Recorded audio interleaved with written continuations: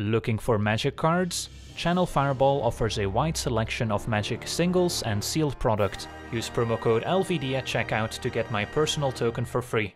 Hello and welcome to another standard gameplay video. Today we're taking a look at a 5 color world tree deck whose goal it is to put every single god that's legal in standard in play at the same time using the World Tree, a land that comes into play tapped and taps for green mana, and as long as we control 6 or more lands, lands we control can tap for 1 mana of any color, and for 10 mana and tapping and sacrificing the World Tree, we can search our library for any number of god cards and put them onto the battlefield, and then shuffle our library, and our deck is playing all 19 gods that are legal in standard, starting out with Valki, God of Lies, can also be played as Tibalt, Cosmic Impostor, we've got Heliod, Sun Crowned, Reidane, god of the worthy, Cosima, god of the voyage, Egon, god of death, Birgi, god of storytelling, Jorn, god of winter, Esika, god of the tree, Klothys, god of destiny, Halvar, god of battle, Thassa, deep dwelling, Erebos, bleak hearted.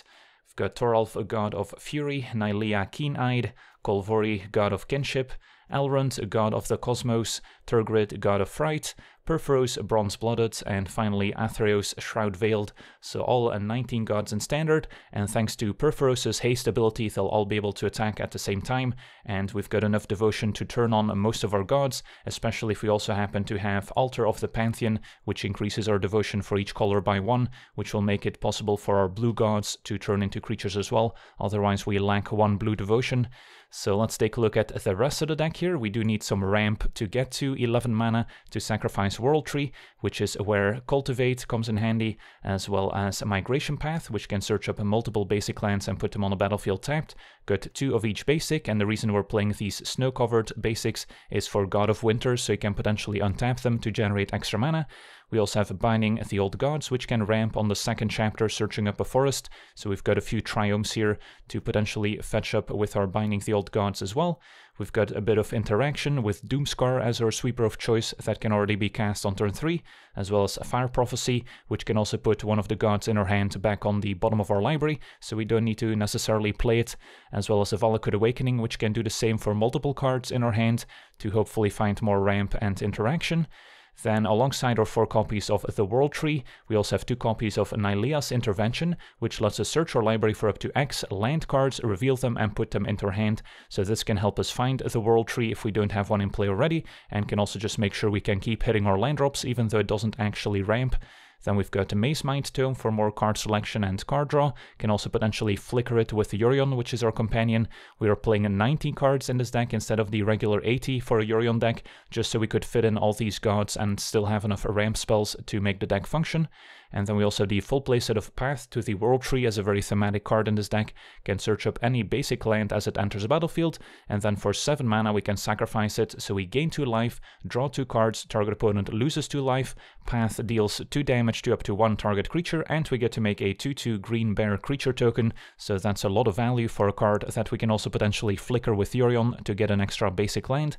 And then, as we already mentioned, 4 copies of Altar of the Pantheon, which can increase our devotion by 1 for each color combination, as well as tapping for 1 mana of any color, and if we control a god, a demigod, or legendary enchantment, we also gain 1 life, which is going to come up in this deck quite often.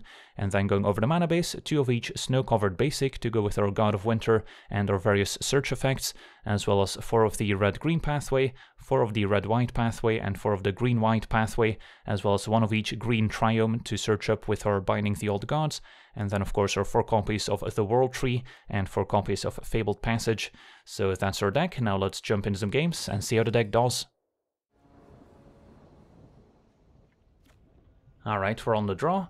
Our hand's not actually all that bad, since we can play Awakening as a tap land, and then Cultivate can help hit our land drops, as well as Migration Path. So we really just need to draw any third land. And there we go.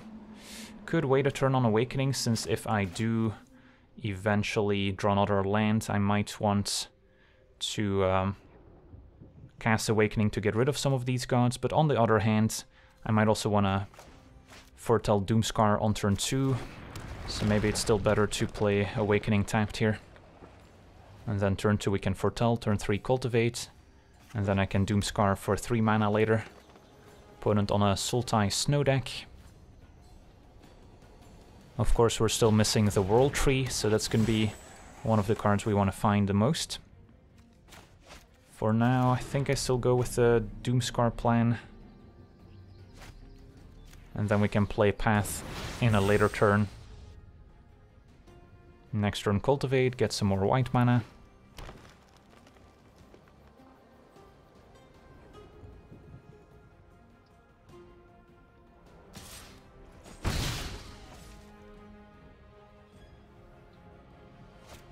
Alright, opponent's got the God of Winter. So they're gonna be able to make a lot of mana next turn. So I wanna get second white source, and then I guess we'll get... Doesn't matter too much here, maybe a swamp, in case we need to binding.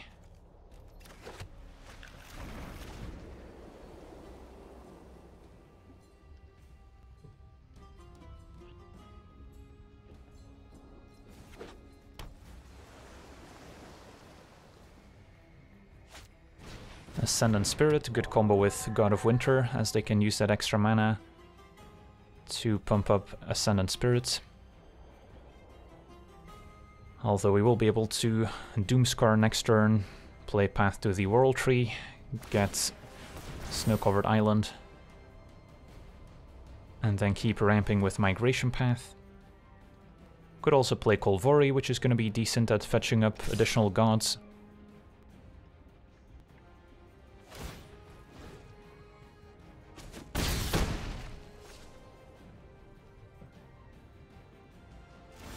Opponent passes, but they can level up Ascendant Spirit end of turn. And we're just gonna Doomskar here.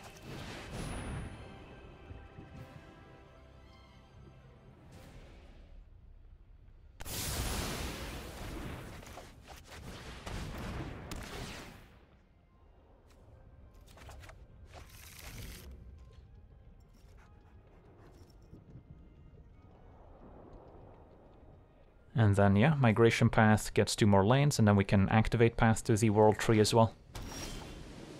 Tome is also a good one. So we'll Path, get Mountain, maybe second Blue Source. Keep Forests in the deck, I think, in case we get a Binding going, which can search up forests.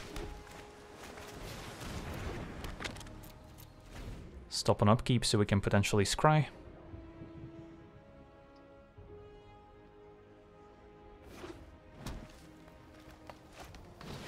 Opponent's gonna ramp with Cultivate.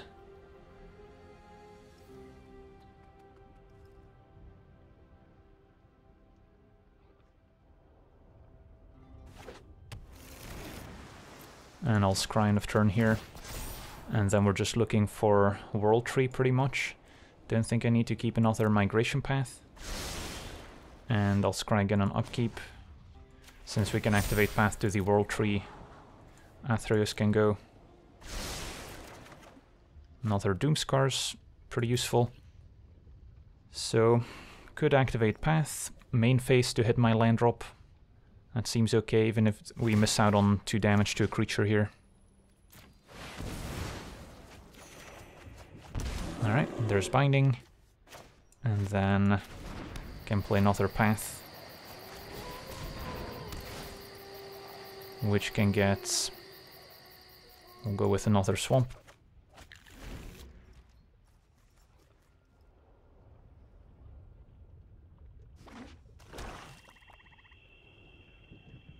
If our opponent plays the artifact half of God of Winter, we can destroy it with Binding. Ugin the Spirit Dragon, a little unexpected here, but can also be answered with Binding. Can get rid of Path to the World Tree and the Bear token with a minus 2.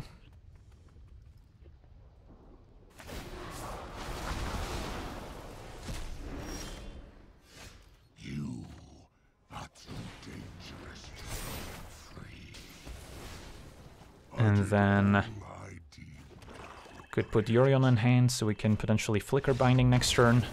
But our opponent concedes. Alright, on to the next one.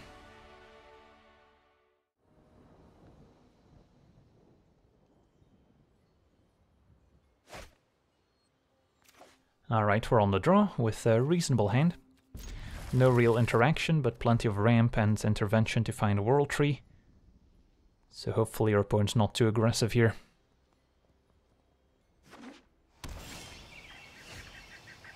Probably gonna have to play Awakening tapped just to make sure we don't miss a, a land drop.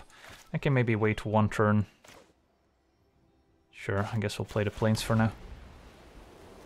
Just in case we pick up an extra land so I can keep Awakening to shuffle away some of our gods we don't need. Turn to Florahedron. Yeah, gonna just have to play this tapped, sadly.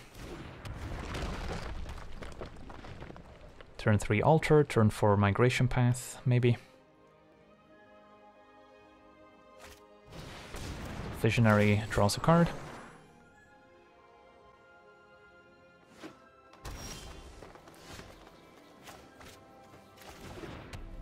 Could also play Reidane first, just as a distraction here.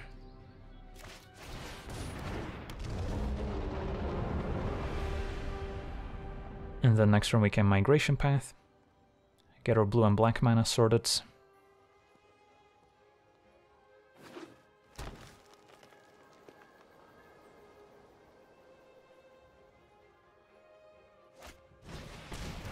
Alright, Citizen training on Visionary.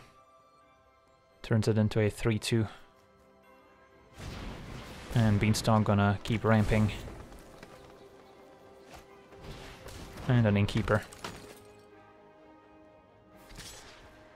Think I'm okay trading here.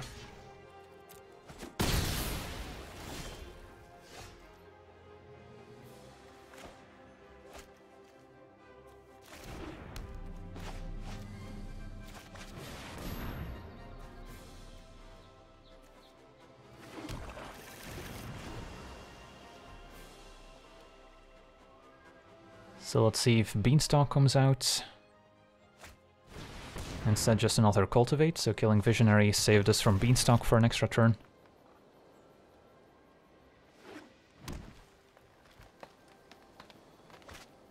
And scale the heights on Innkeeper, fair enough. Alright, so this turn I can go altar into Halvar, just to put a blocker out there. And then next turn we can fire off a big intervention, searching up some lands.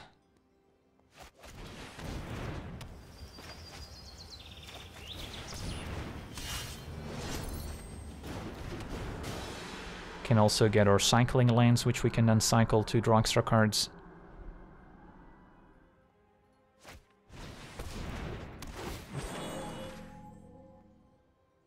And I'm actually just one white devotion away from turning on Heliod's. Alright, transformation, gonna turn Halvar into a 3-3, still good enough. And also still keeps the 2 white devotion for Heliod. So getting Yorion in play will make sure we have a 5-5 indestructible to block the giant. Another scale the heights.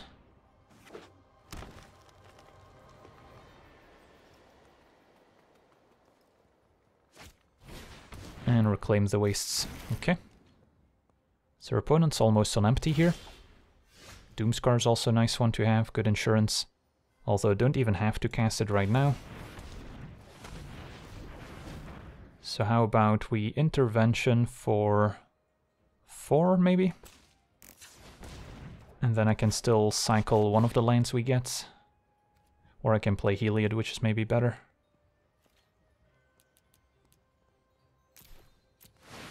And then we'll get two copies of World Tree just in case, and two cycling lands.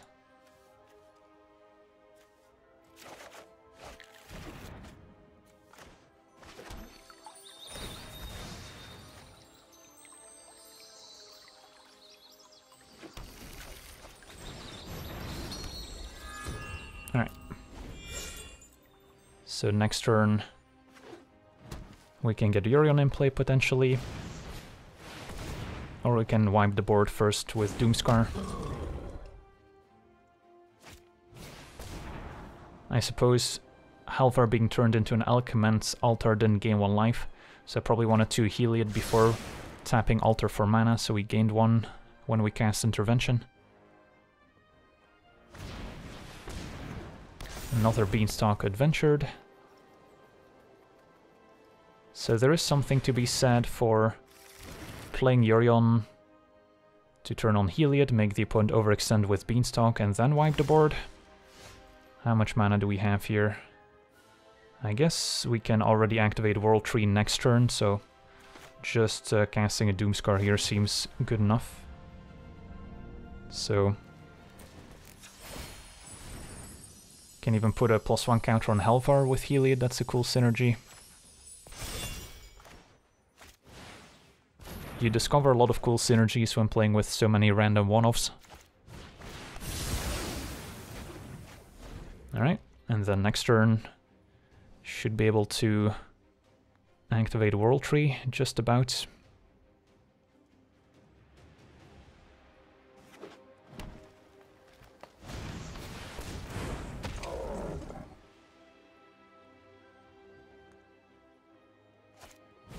And Generous Tree. I guess that must be one of the starter decks.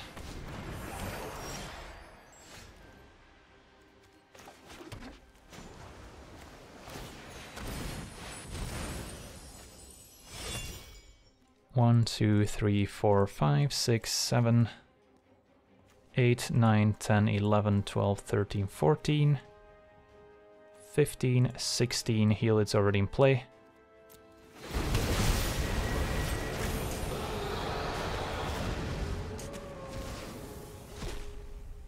Sadly, Halvar and Reidane couldn't join us for this one. And tap all our lands with God of Winter, because why not? Could activate Heliod for lifelink. What else can we do here? Can activate Erebos by sacrificing creatures. Nylea can find more creatures, although we already have all of them in play. Same with Kolvori. And Thassa can tap down creatures as well, so I guess we could have activated Thassa before blocks. Think we'll be just fine here. Alright, our opponent explodes. On to the next one. Alright, we're on the play with a fine opening hand. Intervention for World Tree, double migration path for ramp. Maybe Egon as a distraction. Got a few cards that can eventually end up in the graveyard. So I'll probably fetch a swamp at first. Opponent on red-black, Temple of Malice. A removal-heavy deck we actually don't mind playing against since we're happy to play a long, slow game where we don't present many creatures for the opponent to kill. Play Triome.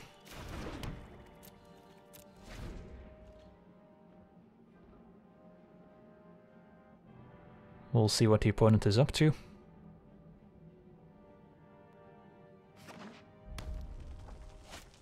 Turn to Kroxa. Do I get rid of God of Death here? I think I do.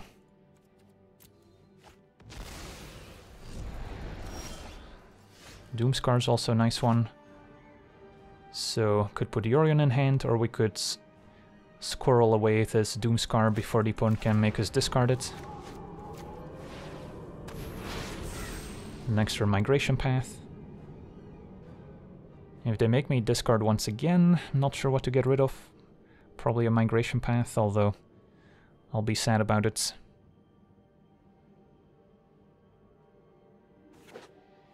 Right, opponent on Grixis.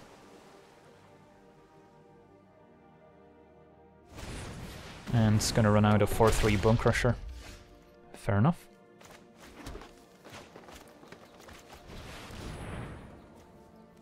So already have double whites.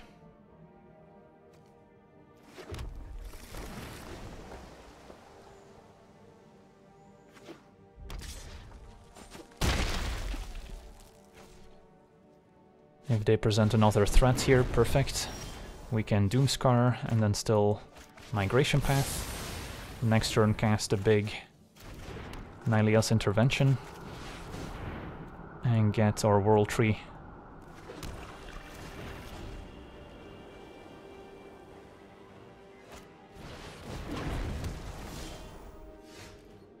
So can intervention for let's say four.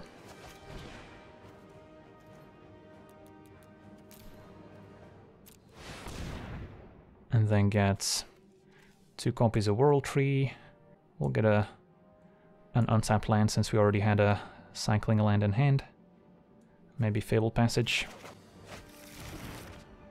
And then play World Tree. Put Yorion in hand. And how many lands do we have here? Five. So next turn we can activate World Tree. Calamity Bearer gonna double damage from Tectonic Giant.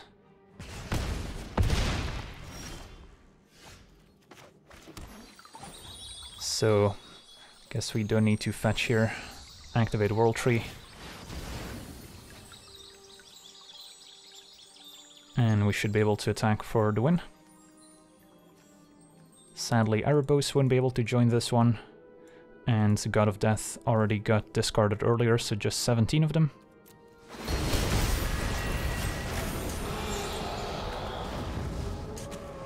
I guess we'll let Erebos join in on the fun.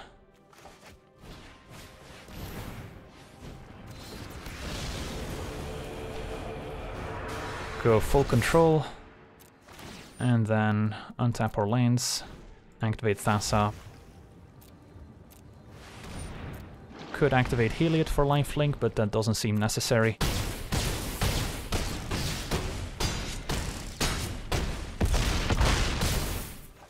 Sweet, on to the next one. Alright, we're on the play, and don't hate this. We have Awakening to get rid of Alrund and Purphoros. Bit of interaction with Prophecy and Binding. And we already have World Tree, which is pretty important. Hopefully pick up an untapped lane, so we don't need to play Awakening as a tap land. Alright, that's good. Probably can afford to World Tree, and then turn 3 I can Prophecy if needed.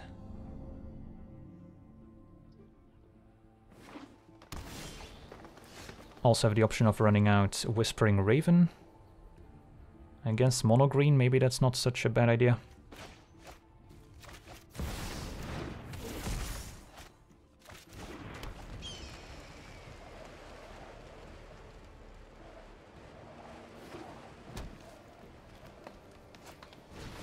Yorvo, Lord of Garenbrig. And picked up God of Winter. So Whispering Raven attacks.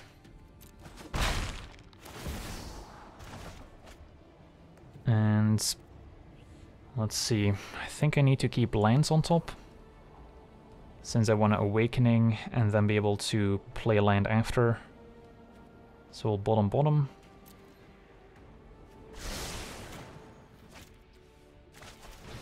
And then probably get rid of all four gods.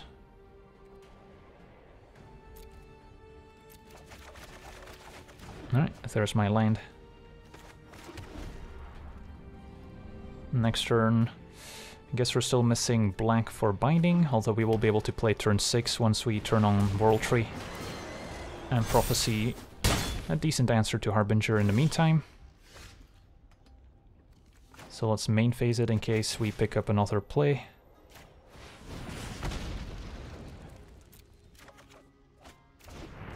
I'm probably just gonna Awakening again to try and find more ramp cards.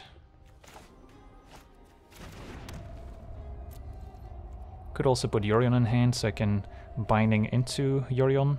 I guess I don't hate that.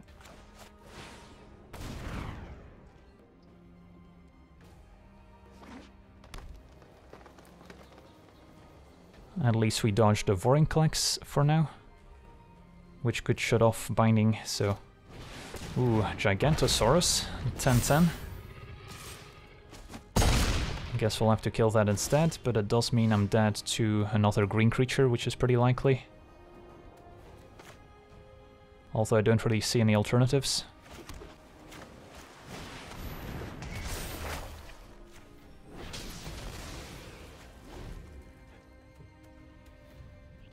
It's not often that Yorvo gets 2 plus 1 counters,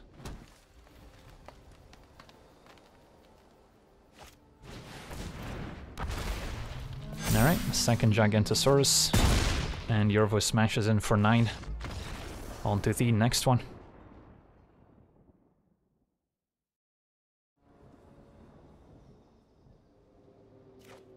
Alright, we're on the draw. And yeah, I don't really mind this. Double Mazemind Tome to find some ramp cards and eventually World Tree.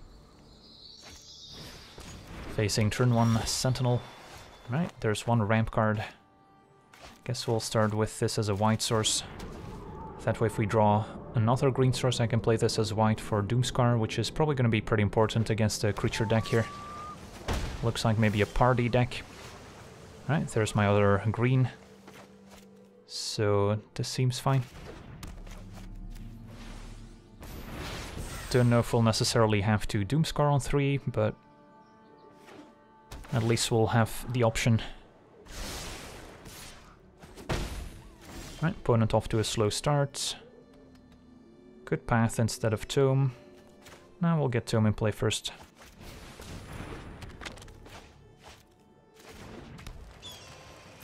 And then scry for an untapped land so we can path.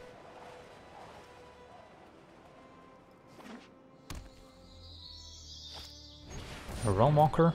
That's one we don't mind getting rid of with Doomskar. Although I prefer ramping first. Opponent keeps up the mana from Sentinel, so they might have a 2 mana interactive spell. Cultivate, I guess, isn't bad. Helps me hit my land drop and also ramps. So they might have a counter spell here, who knows. Although not for Cultivate. And then we'll get red, black.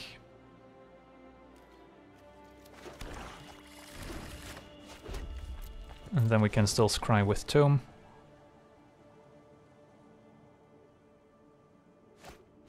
Aha, Reflections of Littjara, so blue-green Reflections deck, as I like to call it. Although we will have to be party poopers here and destroy Reflections with our binding.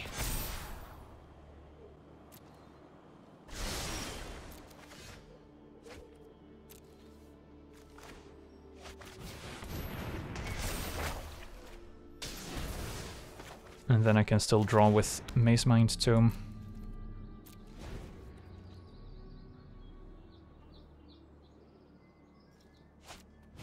Another Reflections. So we won't be able to Yorion the second Reflections in time.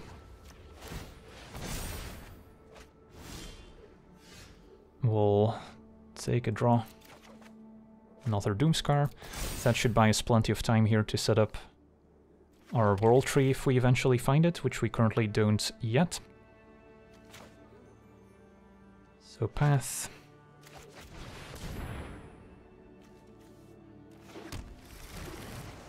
And then I'm probably just gonna draw with Tome. Since I want to start using Tome more after we're done shuffling, although maybe getting Path in place not bad since then I have the option of shooting a smaller creature instead of having to Doomskar. Alright, this seems fine. Play land for a turn. Awakening can also help us dig towards our world tree. So this turn our opponent's going to go off with Reflections. Then we're probably going to wipe the board. Take it from there. They've got black mana in there too.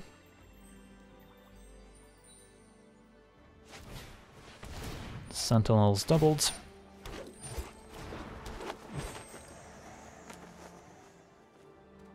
Maybe they're holding a counter spell for a sweeper. Aha, Shadow Sage, yeah, that's gonna deal a lot of damage here.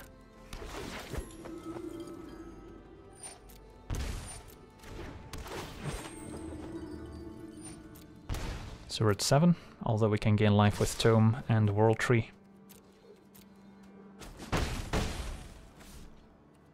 So we'll just untap. Doomskar. And then I think I want a life gain and card.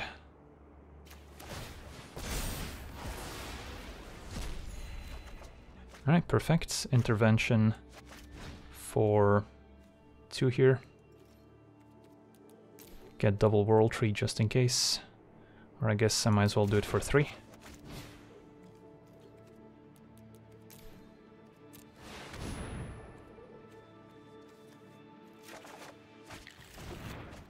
get World Tree in play, and hope we're not dead. And then next turn activate World Tree, I think.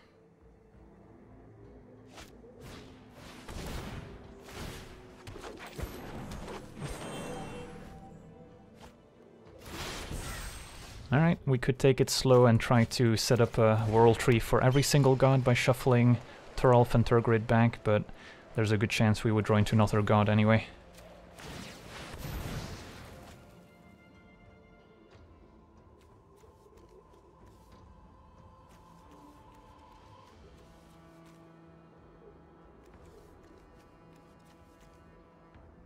Alright, 17 gods.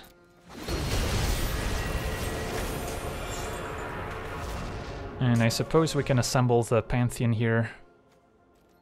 Opponent did have another Shadow Sage in hand, as it turns out. Since our creatures have haste, and we have Esika making mana, we can assemble the entire Pantheon.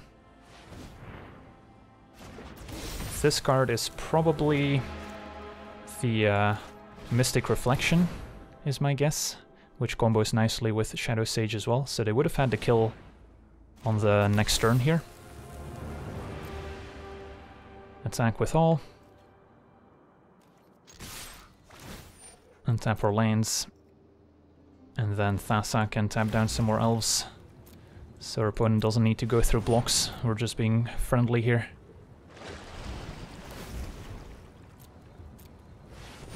Also have Heliod for life gain once again. Didn't think that'll be necessary. And yeah, there's a Mystic Reflection.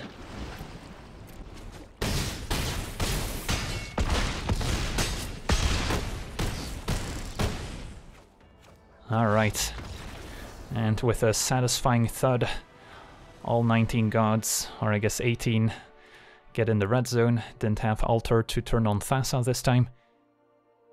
So overall, the World Tree deck, a lot of fun if you can get to the late game and activate it, and it does play quite well against removal-heavy decks, since you don't need to present any threats until you just win the game out of nowhere, but not the best against any hyper-aggressive decks, so those will be pretty bad matchups.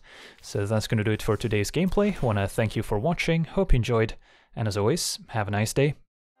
I also want to thank all my patrons for being part of the channel, and you can become a patron yourself today and decide the topic of future videos over at patreon.com forward slash LegenVD.